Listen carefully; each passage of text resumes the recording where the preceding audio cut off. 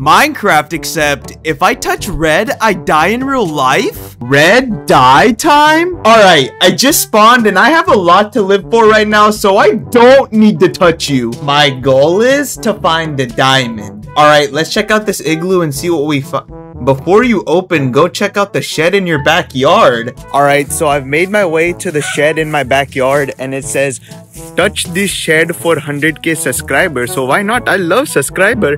Wait.